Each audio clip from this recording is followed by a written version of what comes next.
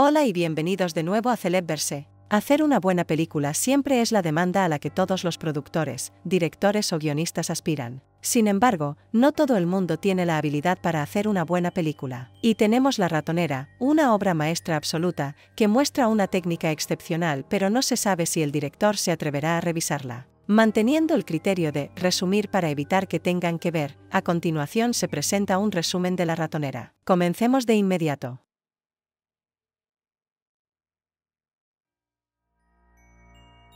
El viernes, 13 de marzo, los inspectores Cole y Mars estaban interrogando a un testigo en un caso importante. Rebecca es la única sobreviviente de una masacre grave, al mismo tiempo que se convierte en la principal sospechosa del crimen. La actitud poco colaborativa de la joven solo aumenta las sospechas hacia ella. Después de convencerla durante un rato, finalmente Rebecca accedió a contar todos los detalles del incidente. Todo comenzó con Alex Fenn, un empleado en el parque de diversiones cubierto Fanaven. Esa noche, Alex aceptó el turno de trabajo por la noche con su colega Jaina. La mayoría de los jefes de ella son brotes de bambú jóvenes. Entre ellos estaba el niño gordo herido mientras jugaba, a quien Alex salvó. Pero en lugar de mostrar gratitud, el niño lanzó comentarios desagradables y burlones sobre cómo Alex no tenía novia. Hay una niña llamada Rachel, que cuando su amigo Joseph la empujó, le dijo a Alex que matara a Joseph por ella. Los niños son así, no saben nada. Parece que tanto Alex como Jaina tuvieron un día agitado con los niños en Fanaven. Así que el gerente Tim Collins acaba de llegar y les informó que acaban de cerrar un trato de última hora que requiere que ambos hagan tres horas extras para una fiesta en el parque de diversiones y promete duplicar el salario.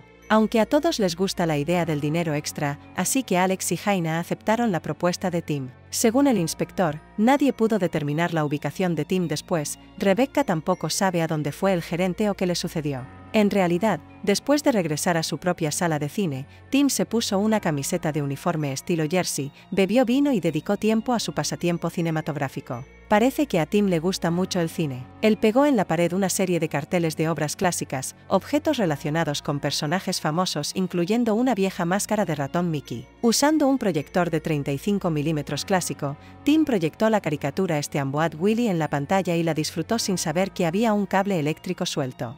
Mientras la película se proyectaba con una voz grave y ronca susurrando, Tim se levantó a mirar y se sorprendió al dejar caer su vaso de vino en el cable eléctrico suelto. Este es el momento en que Tim dirigió su mirada hacia la máscara de ratón y localizó el origen de la voz que resonaba en la habitación. Mientras tanto, en la zona de entretenimiento, Alex y Jaina estaban terminando su turno, con Alex ocupado mientras que Jaina solo estaba sentada sin hacer nada útil. Al ver a Alex ese día parecía no estar contento, Jaina habló preguntando qué le pasaba, mostrándose preocupada por su amiga para ganarse su cariño. Sin embargo, Jaina rápidamente pidió a Alex que le ayudara con el resto del trabajo para poder salir y encontrarse con su nuevo novio recién conocido. Como protagonista de una película de terror, Alex todavía acepta ayudar a su colega. Inmediatamente, Jaina vuela y desaparece para encontrarse con su presa. Sin Jaina, Alex termina rápidamente la tarea y disfruta del espacio de juegos de manera privada. Un momento después, el teléfono en la caja registradora sonó, Alex corrió a levantar el auricular pero la línea estaba completamente en silencio. Rebecca informó que fue Alex quien le había avisado de la llamada. Sin embargo, los dos inspectores cuestionaron que esa noche el edificio no registrara ninguna llamada y que el testigo seguía siendo indiferente. Sin embargo, por descuido, Rebecca reveló que la persona que llamó era un hombre cuando lo mencionó como él. Solo quedaba Alex en Fanaven, sin darse cuenta de que afuera había alguien con máscara de Mickey observándola a través de la ventana. Al escuchar música proveniente de la zona de juegos, dio la vuelta para ver si había alguien más presente. Al llegar a la puerta trasera, Alex descubrió a una persona con máscara de ratón vistiendo un uniforme de jersey, quien estaba abriendo la puerta y mirándola. Alex dio la vuelta y corrió, solo para encontrarse con su grupo de ocho amigos esperándola en el centro del área. Resulta que ese día era el cumpleaños de Alex, sus amigos y colegas, incluyendo a Rebecca, prepararon una sorpresa secreta en los últimos minutos del día de celebración en su lugar de trabajo.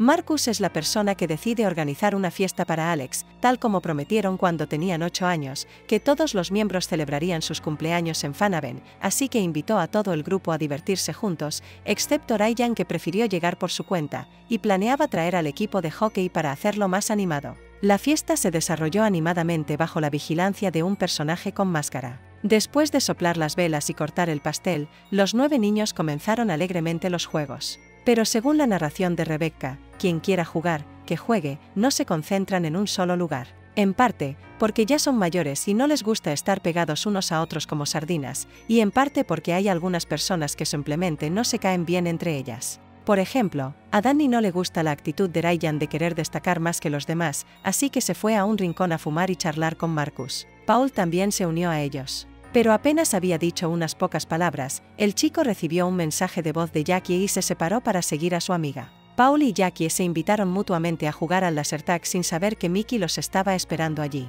Los dos niños estaban a punto de besarse cuando un ratón interrumpió y salió corriendo hacia ambos. Mientras estaba concentrado con el resto de su equipo, Ryan llamó al equipo de fútbol para hablar mal de Marcus, quien estaba compitiendo con Alex por ella. Básicamente, el equipo de hockey sabe que estos dos líderes juegan juntos en un grupo, pero no se llevan bien porque ambos les gusta la misma chica, Alex. Incluso han planeado una lección para Marcus. Al ver que Ryan pasa demasiado tiempo hablando por teléfono, Alex sugiere sutilmente a su amigo. Ryan decide que todos pondrán sus teléfonos en un lugar para disfrutar del tiempo juntos, y Alex propone que aquel que use el teléfono primero tendrá que invitar a beber a todos. Mientras Alex y sus dos amigos salen a jugar, Gemma, María y Rebecca están de pie charlando. Sin darse cuenta, Rebecca revela que ella tiene una atracción secreta por Alex. Rebecca tampoco dudaba en contarles esa historia a los dos oficiales. Esto causó una sospecha. ¿Acaso uno de los dos chicos tenía la intención de matarse mutuamente? Pero Rebecca rápidamente negó esta teoría. Al decir eso, ella misma también estaba bajo sospecha.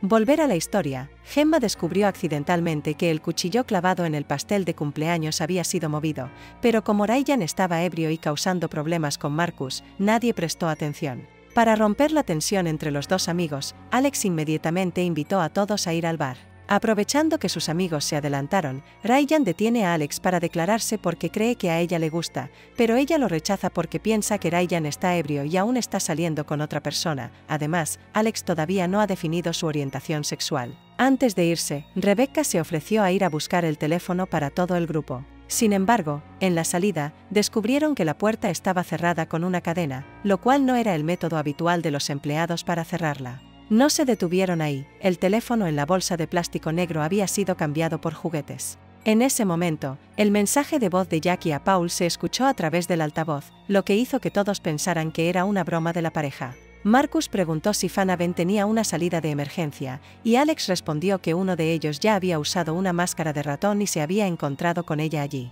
Fue entonces cuando todos se dieron cuenta de que nadie en el grupo estaba bromeando y se dirigieron hacia la puerta trasera. Por desgracia, este camino también estaba bloqueado con una cadena. Para salvar la situación, Alex propuso que quien encontrara primero a Paul y Jackie sería tratado con bebidas gratis toda la noche. Así que todos rápidamente se dispersaron para buscar a la joven pareja. En este momento, Marcus y Alex están viviendo juntos de nuevo. Él le propuso regalarle a Alex un regalo de cumpleaños significativo, y llevó a la señorita a una mesa llena de banderas nacionales. Marcus cumplió el deseo de infancia de Alex de probar todos los tipos de dulces agrios en todo el mundo. Alex se conmovió por la atención de Marcus y también insinuó darle la oportunidad al chico de invitarla a salir. Mientras tanto, Ryan fue a la Sertag a buscar a Paul y Jackie. Allí se encontró con Mickey y creyó que era Paul. Rebecca también se encontró con el ratón, pero cuando lo vio levantar un cuchillo ensangrentado, inmediatamente corrió y fue perseguida. Tropezó y la linterna cayó, cambiando al modo intermitente. Bajo la luz parpadeante, Mickey entró en pánico y desapareció. En el exterior, Danny con tranquilidad se subió a la montaña rusa y se relajó. Gemma juega videojuegos de realidad virtual de manera despreocupada. El tercer jugador que se encuentra con Mickey en el juego de láser tag es María. Al principio, ella pensó que Ryan estaba jugando una broma con ella. Pero luego, cuando el ratón se acercó desde lejos y agitó la espada hacia María, la sangre en la hoja de la espada salpicó su rostro. En ese momento, María se asustó y huyó corriendo. Ella corrió directamente hacia donde estaban Marcus y Alex, informándoles que Ryan se emborrachó y lastimó a alguien en la zona de recreo. Alex rápidamente fue a la sala de control para apagar la música y encender las luces, solicitando que ambos esperaran tranquilos. Cuando Alex revisó las cámaras de seguridad, solo vio el clip de la película Steamboat Willie siendo proyectado. Al intentar llamar para informar, escuchó una voz masculina susurrante amenazándolo. En el bar donde se reunían los amigos de Ryan, Mickey también llegó. Los matones rodearon rápidamente al intruso, con palos de hockey en mano, listos para actuar pensando que era Marcus disfrazado causando problemas. Ellos amenazaron a Mickey para que se mantuviera alejado del enamoramiento de Ryan, si no quería recibir golpes en lugar de comida, pero fue Mickey quien atacó primero. Uno por uno, cada persona en la multitud de fanáticos fue eliminada por el ratón asesino de manera más convincente. María y Marcos corren directamente hacia el puesto de comida para contactar al 911, pero el teléfono está completamente sin conexión. Alex regresa y trae consigo dos linternas debido a que el sistema de luces no funciona. Los tres van juntos hacia la salida de emergencia. Al llegar, se quedaron atónitos al ver los cuerpos de Paul y Jackie sentados uno al lado del otro con la frase, Este no es un juego para parejas. María cree que Ryan estaba drogado, fue rechazado por Alex y actuó impulsivamente para desahogarse. Regresando al área de juegos, los tres amigos descubrieron a Mickey parado afuera esperándolos. Los altavoces amplificaron la voz susurrante provocativa y amenazante del grupo de amigos. Los tres acordaron que María y Marcus se quedarían, mientras que Alex iría a la sala de control para transmitir el mensaje a los demás miembros en el techo del edificio. En el lugar de Danny, Mickey se acercó y encendió la montaña rusa, lo que le asustó mucho. Después de un rato de estar girando locamente, cuando la montaña rusa finalmente se detuvo, Danny salió tambaleándose. Al darse cuenta de que su oponente llevaba un cuchillo, comenzó a entrar en pánico y huyó. Él corre hacia el juego de laser tag y se encuentra con Rebecca temblando en una esquina. Danny te pide que te quites los tacones altos para buscar juntos la salida. En el momento en que la alarma sonó activada por Alex, alertando a todos de que debían subir al techo. Pero también fue cuando Danny y Rebecca descubrieron que Mickey estaba justo encima de ellos. Al igual que Danny, Gemma también fue abordada por Mickey sin darse cuenta porque estaba ocupada usando gafas de realidad virtual. Solo cuando escuchó la alarma, ella se dirigió a la sala de control para preguntar por Alex, sin saber que el peligro acechaba a pesar de las advertencias desde lejos. Mickey se acercó sigilosamente por detrás de Gemma y le cortó el cuello frente a los ojos de Alex. Aterrorizada, Alex dejó caer la linterna haciendo que parpadeara, pero cuando volvió a mirar, Mickey ya había desaparecido. A través de la cámara de vigilancia, Marcus y María vieron a Danny huyendo con Rebecca en el juego de la Sertag. Él utilizó un altavoz para dar indicaciones a los dos amigos para escapar de los perseguidores. Mientras corrían sin problemas, Rebecca tropezó y cayó, como si tuviera que ser así, a pesar de haberse quitado los tacones altos. Como resultado, Mickey la agarró del pie y le cortó justo al lado del talón. Danny no pudo dejar a su amigo, también fue apuñalado por Mickey en la cabeza. Lo extraño es que el chico simplemente se quedó sentado para ser asesinado sin hacer nada para defenderse o resistirse, probablemente sea un fan de Disney. Alex luego corrió hacia donde estaban Marcus y María, contando el encuentro con el asesino. Pero lo increíble fue que Marcus lo vio por primera vez en la persecución de Danny y Rebecca en el juego de la. Es probable que no estuviera solo. Pero la desaparición instantánea de Mickey frente a Alex demuestra la posibilidad de la teleportación, algo sobrenatural aún sin confirmar. De repente, el altavoz resonó con una voz anunciando la llegada de más invitados a la fiesta. Alex recordó que Jaina regresaría y corrió rápidamente hacia la entrada. Desde lejos, intentó advertir a su amiga sobre el asesino que estaba detrás de ella. Pero según la teoría de las películas de terror, aquellos que son inocentes son los primeros en morir. Y así fue como Jaina murió. Mickey está riendo burlonamente mientras Alex llora desconsoladamente por la muerte de su amigo. Al volver, ella ve a Ryan siendo controlado por Marcus. Eso demuestra que Ryan no es el responsable detrás de estas horribles masacres. Esto se vuelve más seguro cuando Mickey corpulento está justo detrás de ellos. Ryan pensaba que sería fácil burlarse y decir verdades o mentiras a Mickey, pero recibió una patada en el aire. Todo el grupo corrió tras él hasta que Mickey desapareció. A pesar de ser golpeados en la cara, gradualmente descubren que el asesino perdió la capacidad de moverse instantáneamente cuando se encuentra con luces intermitentes. Entendiendo eso, cuatro amigos planean incluir a Mickey en el juego de la Sertag para cazar al ratón sediento de sangre. Según el plan preestablecido, Mickey llegó al Lasertag. Alex y María aparecieron para incitarlo a arrojar armas hacia ellos y luego encendieron las luces intermitentes. Al mismo tiempo, Ryan y Marcus salieron corriendo para atraparlos a ambos lados. Pero al levantar la cabeza, la luz fue desactivada por Mickey. La luz volvió a encenderse y en un instante el villano desapareció. La camioneta de bomberos se dirigía hacia Fanaven. Alex también afirmó que Mickey no regresaría, pero justo al terminar de decirlo, una cuchilla cortó su cabeza. El autor no era otro más que Mickey. Sentí que el final de la película aquí fue un poco forzado, así que el guionista decidió agregar una escena después de los créditos sin saber para qué. Específicamente, Rebecca estaba sentada sola cuando un intruso llegó y abrió la puerta de la celda.